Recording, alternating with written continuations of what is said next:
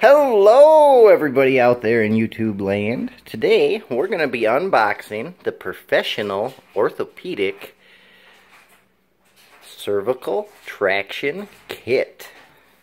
Flip it over here and it'll show what all it has. Head halter, spreader bar, S-hook, V-bar, pulleys, cord, door bracket, weight bag. So, let's open it up see what's all inside.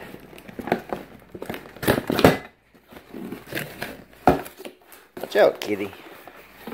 Kitty wants to help unbox as well. So, everything's out of the box. So, here's the bag.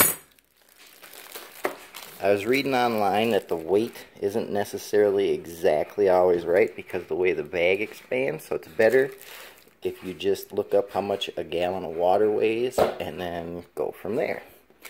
Next, you have the V-bar. Here's the door bracket.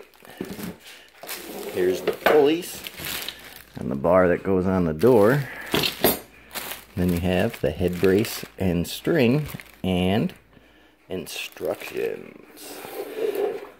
So, that's what all comes with it. I hope this helped you out if you want to know what all came in the box before you bought it. If you guys have any questions about it, leave it in the comments below. Hit that like button and subscribe.